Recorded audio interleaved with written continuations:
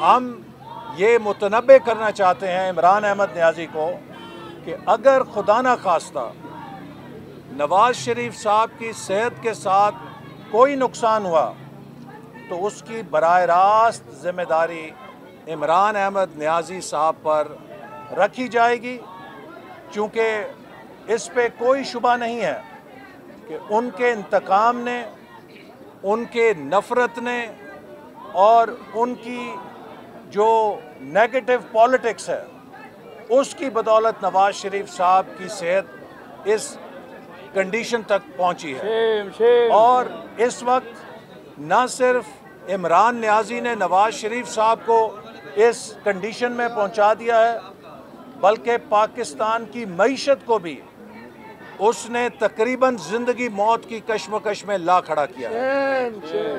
آج جتنے اپوزیشن کے لیڈرز ہیں، ان سے ایک روپے کی کرپشن ثابت نہیں ہو سکی۔ لیکن عمران احمد نیازی، جس کے پاس کچھ دکھانے کے لیے نہیں ہے، کوئی پرفارمنس نہیں ہے، وہ صرف اپنے لوگوں کو مطمئن کرنے کے لیے اپوزیشن کے خلاف انتقامی کاروائیوں سے ان کا پیٹ بھرنا چاہتا ہے۔ اگر آج اپوزیشن جیلوں میں ہے، شاید خاکان عباسی سزائے موت کی چکی میں ہے مریم، نواز، حمزہ، شہباز، خواجہ سعد رفیق، سلمان رفیق، رانا ثناء اللہ مفتہ اسماعیل، کامران مائیکل، ان سب کو جیلوں میں ڈالا ہے اور نواز شریف صاحب کو اس حال تک پہنچایا ہے۔ تو کیا کسی غریب کے لیے بھی کوئی آسانی پیدا کی ہے؟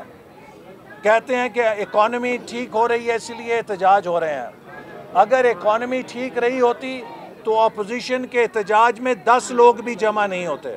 آج لاکھوں لوگ اپوزیشن کے احتجاج میں اس لیے شامل ہو رہے ہیں کہ اس حکومت نے لاکھوں افراد کو بے روزگار کر دیا ہے، مہنگائی بدترین سطح پہ پہنچا دی ہے اور نو سال کی لوئسٹ گروتھ ریٹ آج پھر پیدا کر دی ہے، جس سے کہ ہمارے ملک کی قومی سلامتی بھی خطرے میں پڑ چکی ہے۔